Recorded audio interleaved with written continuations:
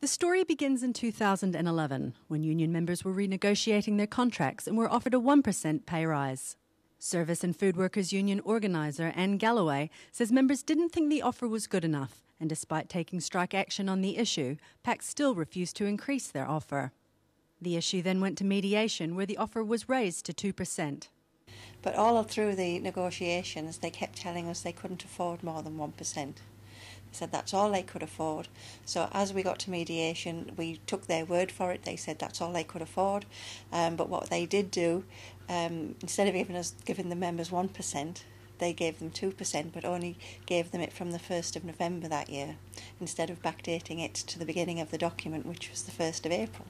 Galloway says after Christmas that year, the union found out that PACT had written to all their non union members and offered them 2% backdated to the 1st of July, which meant in effect that union members had been discriminated against. I think they did that because they, they saw it as a way of getting people to leave the union. Um, obviously, we always have this problem with people think that they're going to get what the union members get anyway, and that happens in a lot of places. But this seemed to have been a concerted effort on PACT's part to say, hey, you know, you don't need to join the union, we're going to give you more anyway.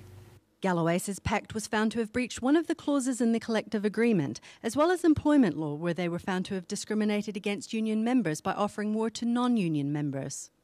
Nine Local News contacted PACT for their side of the story, and although they declined to appear on camera, the Director of Corporate Services, Paul Chamberlain, replied in a statement The company doesn't agree with the judgment because both groups received exactly the same pay rise of 2%, so we will be lodging an appeal.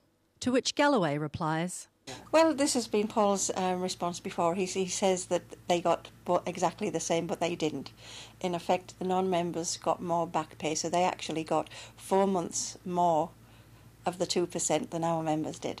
So they had four months more money than our members.